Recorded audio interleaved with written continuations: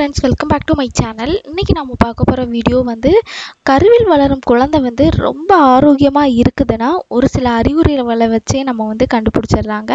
அதுவும் ஒரு சில அறிகுறிகள் வந்து இருந்தாலே போதும் நம்மளோட குழந்தை வந்து ரொம்ப ஆரோக்கியமாக இருக்குதா இல்லையா அது எப்படி கண்டுபிடிக்கணும் அதை பற்றி தான் இந்த வீடியோவில் நம்ம பார்க்க போகிறோம் வீடியோவை ஸ்கிப் பண்ணாமல் முழுசாக பாருங்கள் அப்போ தான் உங்களால் எல்லாத்தையும் தெரிஞ்சுக்க முடியும். ஃபர்ஸ்ட்டுன்னு பார்த்தீங்கன்னா குழந்தையோட வளர்ச்சிங்க. இப்போ குழந்தையோட வளர்ச்சி வந்து எந்த வாரத்தில் இருக்கீங்களோ அந்த வாரத்துக்கு ஏற்ற வளர்ச்சி இருக்குதா? எடை இருக்குதா? உயரம் இருக்குதா? அதை முதல்ல நம்ம பார்க்கணும். இது வந்து நம்மளால் கண்டுபிடிக்க முடியாது. அதுதான் வந்து எல்லாருமே சொல்லுவாங்க எந்த டேட்டில் ஸ்கேனுக்கு உங்களுக்கு டேட்டு கொடுத்துருக்காங்களோ கண்டிப்பாக அந்த டேட்டில் வந்து போயிடணும். இப்போ உங்களுக்கு மூணாவது மாதமாக இருந்ததுன்னா என்டி ஸ்கேன் வந்து எடுப்பாங்க. அதுவே ஐந்தாவது மாதமாக இருந்ததுன்னா அனாமலை ஸ்கேன் வந்து எடுப்பாங்க. ஏழாவது மாதத்தில் க்ரோத் ஸ்கேனுன்னு சொல்லிட்டு எடுப்பாங்க. ஏழாவது மாதம் கடைசிலையும் எடுக்கலாம். அல்லது ஏ எட்டாவது மாதத்தில் முதல்லையும் வந்து எடுக்கலாம். ஆனால் ஒரு ஸ்கேன் வந்து கண்டிப்பாக எடுத்து பார்ப்பாங்க. இந்த ஸ்கேன் பார்க்கும்போது உங்களோட குழந்தையோட வளர்ச்சி எப்படி இருக்குன்னு சொல்லிட்டு கண்டிப்பாக டாக்டர் சொல்லுவாங்க. குழந்தையோட வளர்ச்சி நம்ம பார்த்தோன்னா ஒவ்வொரு மாதமும் ரெண்டு அங்குலம் வந்து வளர்ச்சி அடையும். ஏழாவது மாதத்தில் உங்களுக்கு பதினாலு அங்குலம் வந்து குழந்தையோட வளர்ச்சி வந்து இருக்கணும். கடைசி மூன்று மாதத்தில் உங்களோட குழந்தை வந்து ரொம்ப ஆரோக்கியமாக இருக்குது நீங்களும் ரொம்ப ஹெல்த்தியாக உணவு எடுத்துக்கிட்டிங்கன்னா உங்களுக்கு ஒரு வாரத்துக்கு எழுநூறு கிராம் வந்து குழந்தையோட எடை வந்து அதிகரிக்கும். ஒரு ஆரோக்கியமான குழந்தையோட எடை நம்ம பார்த்தோன்னா ஒம்பதாவது மாதத்தில் மூணு கிலோ எடையும் அதோட உயரம் நம்ம பார்த்தோன்னா பதினெட்டுல இருந்து இருபது அங்குலம் வந்து அதோட உயரமும் இருக்கும். இதை விட ரொம்ப கம்மியாக ஒரு சிலருக்கு வந்து ரொம்ப கம்மியாக இருக்கலாம். அவங்களாம் ரொம்ப ஹெல்த்தியாக சாப்பிடுங்க. குழந்தையோட வளர்ச்சி வந்து நம்மளுக்கு ரொம்பவே முக்கியங்க. நெக்ஸ்ட் ஒன் பார்த்தீங்கன்னா குழந்தையோட மூமெண்ட்டு ஐந்தாவது மாதத்தில் குழந்தை வந்து நல்லாவே நகர நகர ஆரம்பிக்கும். ஆனால் அந்த நகர்வு வந்து நம்மளால் வந்து உணர முடியாது.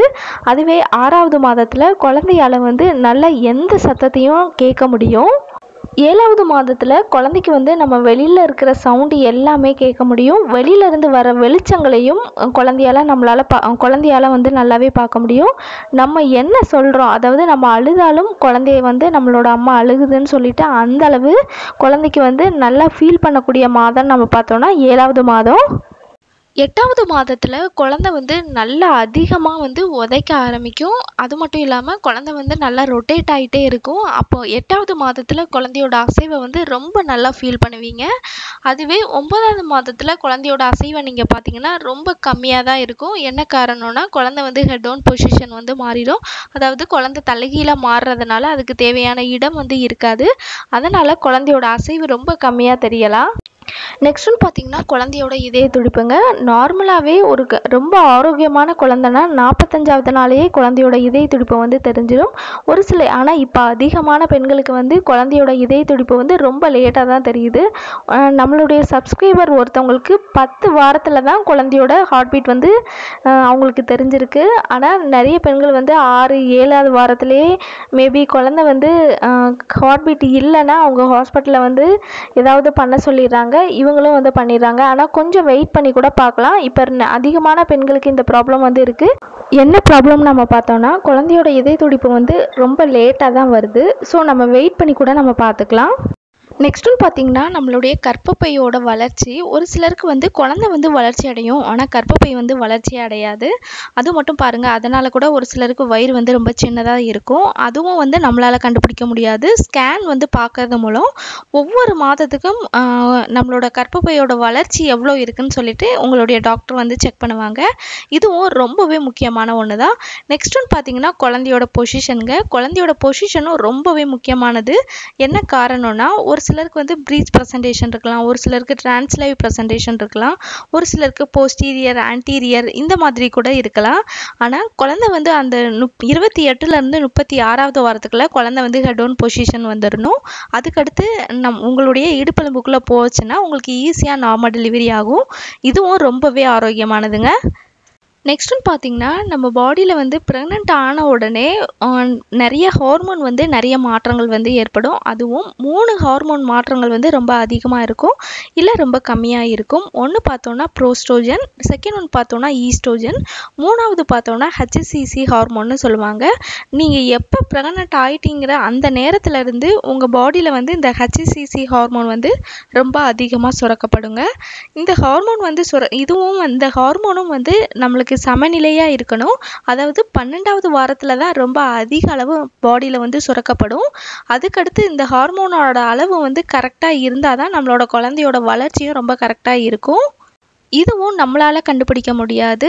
டாக்டர் வந்து பிளட் செக்கப் பண்ணி தான் இதை வந்து கண்டுபிடிப்பாங்க. அதனால தான் என்ன டெஸ்ட்டு உங்களுக்கு பார்க்க சொல்கிறாங்களோ அதை கண்டிப்பாக பாருங்கள் அது ரொம்பவே சேஃபானது ஒரு சிலருக்கு டபுள் மார்க் டெஸ்ட் கூட எடுக்க சொல்லலாம். அதுவும் எடுங்க. என்ன காரணத்தினால டபுள் மார்க் டெஸ்ட் வந்து எடுக்க சொல்கிறாங்கன்னா நம்மளோட முன்னோர்கள்கிட்ட இருந்து ஏதாவது நோய் வந்து உங்களோட குழந்தைக்கு வந்து வருதா இல்லையா? ஏதாவது மரபணு மாற்றங்கள் வந்து ஏற்பட்டிருக்கா இல்லையான்னு சொல்லிட்டு இந்த டபுள் மார்க் டெஸ்ட்டில் தான் பண்ணுவாங்க. இது வந்து ஒரு சிலருக்கு தேர்ட் மந்த்லேயே பண்ணலாம் ஒரு சிலருக்கு ஃபிஃப்த் மந்தில் ஒரு சிலருக்கு நைன்த் மந்தில் தான் பண்ணுவாங்க ஒரு சிலருக்கு செவன்த் மந்தில் கூட பண்ணலாம். ஆனால் என்னோட ப்ரெக்னன்சி டைமில் எனக்கு தேர்ட் மந்த் அதாவது என்டி ஸ்கேன் முடித்து ஒரு ஒன் ஹவர்லேயே நான் எனக்கு வந்து இந்த டபுள் மார்க் டெஸ்ட் வந்து பண்ண சொன்னாங்க. நான் வந்து பண்ணிட்டேன். ஆனால் இந்த டெஸ்ட் வந்து கொஞ்சம் காஸ்ட்லி தான் நினைக்கிறேன். ஏன்னா நான் வந்து என்னோட ப்ரெக்னன்சி டைம்லேயே நான் வந்து த்ரீ தௌசண்ட் வந்து பே பண்ணேங்க. ஆனால் இது ரொம்ப முக்கியமான ஒன்று ஏன்னா நம்ம வந்து நம்ம காசை பார்த்தோம்னா நம்மளோட குழந்தை வந்து ரொம்ப ஆரோக்கியமாக இருக்கணும்ல. ஸோ நீங்கள் இதையும் பார்த்துக்கிறது ரொம்பவே நல்லதுங்க. நெக்ஸ்ட் ஒன் பார்த்தீங்கன்னா குழந்தையோட வெயிட்டு அது மட்டும் இல்லாமல் ப்ரெக்னன்சி உமனோட வெயிட்டுங்க என்ன காரணம்னா ஒரு நார்மலாகவே நம்ம ப்ரெக்னென்ட் ஆன உடனே வெயிட் வந்து கெயின் ஆக ஆரம்பிச்சிடும் அதுவும் பத்துலேருந்து இருபது இருபத்தஞ்சி கிலோ வரைக்குமே வந்து வெயிட் வந்து ரொம்ப அதிகமாகும். நார்மலாக ப்ரெக்னன்சி டைமில் ரொம்ப அதிகமான வெயிட் வந்து நம்மளுக்கு இன்க்ரீஸ் ஆகக்கூடாது. அதாவது பதினஞ்சு கிலோ வரைக்குமே நம்மளுக்கு இன் இன்க்ரீஸ் வந்து ஆகலாம். அதுக்கு மேலே இருபது இருபத்தஞ்சு போகும்போது உங்கள் குழந்தைக்கு வந்து சுகர் வர்றதுக்கும் நிறைய வாய்ப்பு இருக்குது அதனால தான் ப்ரெக்னன்சி டைமில் தேர்ட் மந்த்லேயே நம்மளுக்கு சுகர் வந்து செக் பண்ணுவாங்க. மேபி நீங்கள் சுகர் வந்து செக் பண்ணலாட்டி கண்டிப்பாக செக் பண்ணிடுங்க அது ரொம்பவே முக்கியமான ஒன்று நெக்ஸ்ட்டு பார்த்தீங்கன்னா ப்ரெக்னன்சி உமன்ஸ் வந்து அதிகமான வெயிட் கெயின் போடும் பொழுது நார்மல் டெலிவரி ஆகிறதுக்கும் கொஞ்சம் சிரமமாக இருக்கும் ஸோ அதையும் ரொம்ப கேர்ஃபுல்லாக பார்த்துக்கோங்க குழந்தையோட வெயிட் வந்து இன்க்ரீஸ் ஆகணும். ஆனால் உங்களோட வெயிட் வந்து ரொம்ப நார்மலாக இருக்கணும். அந்த மாதிரியான உணவை வந்து எடுத்துக்கோங்க. கம்மியான ரைஸ் எடுத்துக்கிட்டு அதிகமான காய்கறி வந்து எடுத்துக்கோங்க. அதுவே போதுமானது. நிறைய பேர் என்ன பண்ணுவாங்கன்னா காயே சாப்பிட மாட்டாங்க. ரைஸ் மட்டும் நல்லா சாப்பிடுவாங்க. அப்படி சாப்பிட்டிங்கன்னா கண்டிப்பாக உங்களுக்கு வந்து வெயிட் வந்து இன்க்ரீஸ் ஆகுங்க.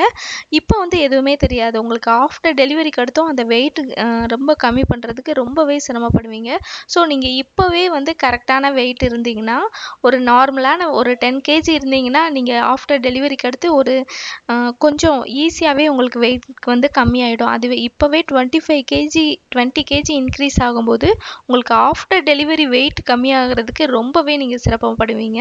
நெக்ஸ்ட் ஒன் பார்த்தீங்கன்னா ப்ளீடிங் வந்தாலோ இல்லை வெள்ளைப்படுதல் வந்து உங்களுக்கு ரொம்ப வாசம் அடிச்சு இல்லை வேறு கலர் பச்சை கலர்லேயோ இல்லை மஞ்சள் கலர்லேயோ ரொம்ப டார்க் க்ரீன் கலர்லேயோ இந்த மாதிரி உங்களுக்கு பட்டதுன்னா கண்டிப்பாக ஹாஸ்பிட்டல் போய் போய் போய் செக் பண்ணுங்கள் ஏன்னா வெள்ளைப்படுதலும் ரொம்பவே முக்கியமானது.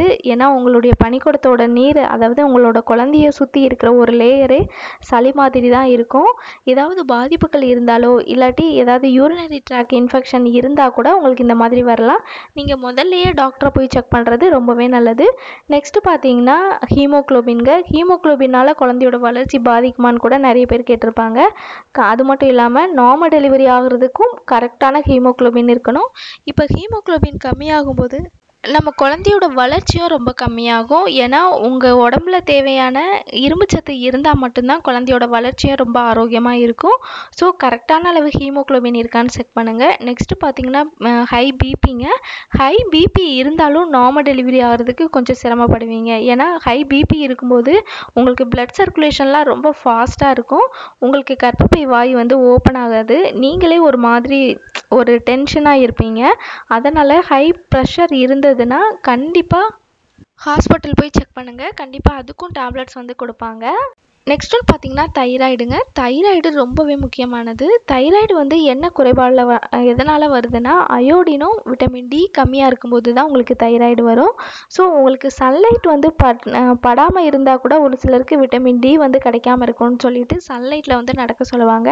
அதாவது ஏழு டு எட்டு மணி அடிக்கிற வெயிலில் வந்து நீங்கள் வாக் பண்ணாலே போதும் உங்களுக்கு ஆட்டோமேட்டிக்காக விட்டமின் டி வந்து கிடைக்கும். இதனால் தைராய்டு லெவலும் வந்து கரெக்டாக இருக்கும்.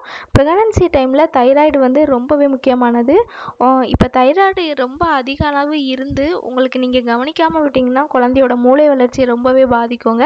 ஸோ ப்ரெக்னென்ட் ஆனப்போ என்னென்ன டெஸ்ட் எடுக்க சொல்கிறாங்களோ அதெல்லாம் கண்டிப்பாக ஃபாலோ பண்ணி அந்த டெஸ்ட்டெல்லாம் எடுங்க. உங்களோட குழந்தை வந்து ரொம்பவே ஆரோக்கியமாக இருக்கும். மேபி நீங்கள் முதல்லையே கண்டுபிடிச்சிட்டீங்க. இந்த மாதிரியான ப்ராப்ளம் இருக்குன்னா இப்போ நிறைய டெக்னாலஜிகள்லாம் வந்துருச்சு. ஸோ உங்களோட குழந்தைய சீக்கிரமே பாதுகாத்துடலாம். சீக்கிரமே நல்லா ஆரோக்கியமாக கொண்டு வந்துடலாம். என்ன இருந்தாலும் உங்களுடைய டாக்டரை கன்சல்ட் பண்ணுங்கள் ஓகே ஃப்ரெண்ட்ஸ் இந்த வீடியோ உங்களுக்கு ரொம்ப யூஸ்ஃபுல்லாக இருந்திருக்கும்னு நினைக்கிறேன். இந்த வீடியோ பிடிச்சிருந்ததுன்னா லைக் பண்ணுங்கள் ஷேர் பண்ணுங்கள் கமெண்ட் பண்ணுங்கள் மறக்காமல் சப்ஸ்கிரைப் பண்ணிவிடுங்க